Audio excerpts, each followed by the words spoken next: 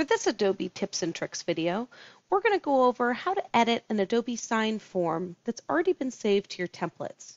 Let's jump in. First, you'll want to sign in to Adobe Sign. To do that, go to the Adobe Sign Quick Start Guide. Click on the Adobe Sign portal link.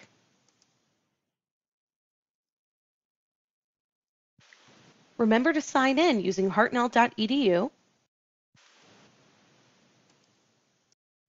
Now put in your Hartnell credentials.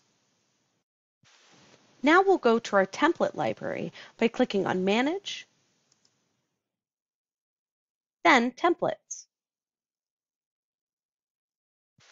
You'll see all of your saved templates here, and you can edit the one you want by hovering your mouse over it and clicking Edit.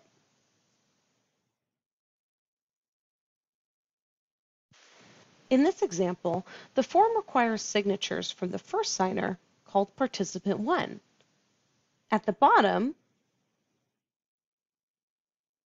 we need the second signer to sign, so this needs to be set to Participant 2.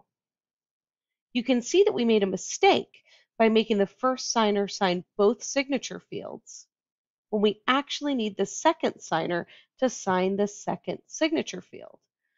To fix this, we'll right-click on the incorrect field and click Edit. Now we'll assign the second signature field to participant 2, which is our second signer. Now click OK. You can change any other fields as needed and click Save when you're done.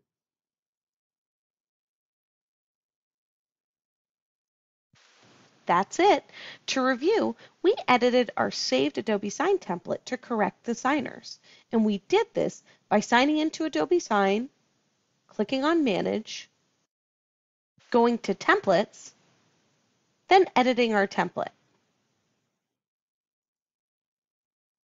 Once we were finished editing, we saved our template, which will now be correct when we send it out for signatures going forward. For other tips and tricks, subscribe to this channel for automatic updates or go to the PDC website at hartnell.edu/pdc. Thanks for watching.